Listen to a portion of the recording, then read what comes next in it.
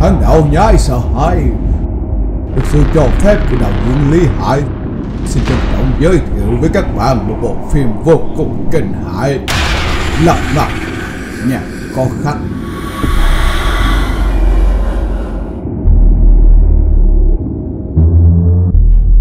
Với sự tham gia của các diễn viên, Chàng trai ăn khách, Cô nàng hiếu khách, Hot boy lữ khách.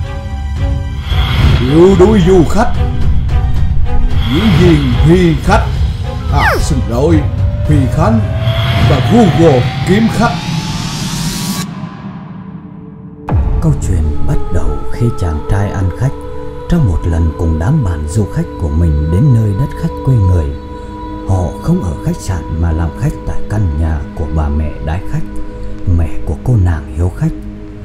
Trong gia đình của cô nàng hiếu khách có một người em trai là cậu bé dì khách với những sở thích rất dị như trốn trong phòng vào ban ngày, ra ngoài chơi xích đu cùng tiếng cười khanh khách mỗi đêm.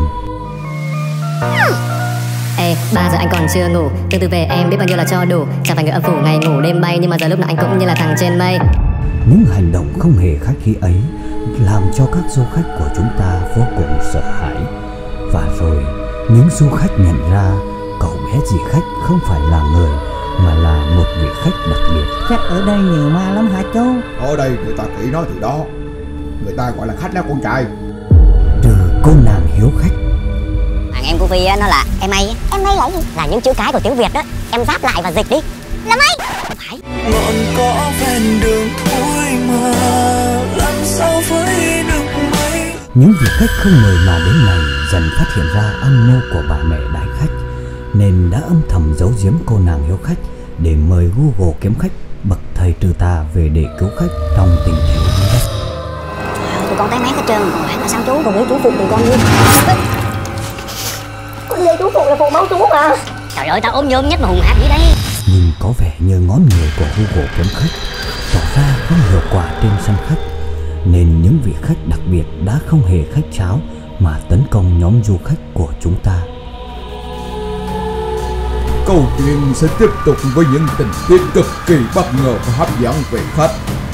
Nó bất ngờ và hấp dẫn như thế nào thì chúng tôi không thể tiết lộ vì tập phim chưa có khách. Hãy nhanh tay, nhanh chân và nhanh toàn thân rời rạc vào ngày 12 tháng 4 năm 2019 để mua vé thưởng thức. Xin chân thành cảm ơn quý khách đã theo dõi trailer nhức nách này.